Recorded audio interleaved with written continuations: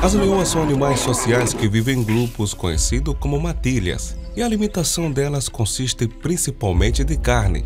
Embora seja raro, há registros de leoas devorando seus filhotes em certas circunstâncias. Existem algumas teorias que podem explicar esse comportamento, embora não haja um consenso definitivo entre os especialistas. Aqui estão algumas das possibilidades. Condições adversas. Em tempo de escassez de alimentos, quando a comida é difícil de encontrar, algumas leoas podem optar por devorar seus filhotes como uma forma de reduzir a competição interna por recursos limitados. Essa é uma estratégia que ocorre em várias espécies de animais, onde os pais sacrificam a prole menos viável para garantir a sobrevivência dos mais fortes. Estresse ou instinto materno mal adaptado.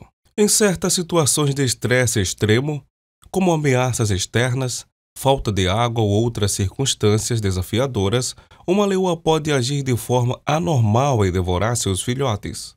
Isso pode ser resultado de um instinto materno mal adaptado ou de um estado psicológico alterado. Saúde ou problemas genéticos. Em alguns casos, filhotes que nascem com defeitos genéticos ou apresentam problemas de saúde podem ser rejeitados ou até mesmo devorados pelas leoas. Isso pode ser uma maneira de eliminar a prole, que provavelmente não sobreviveria ou seria uma carga para o grupo. É importante ressaltar que essas ocorrências são consideradas excepcionais e não são a norma no comportamento das leoas.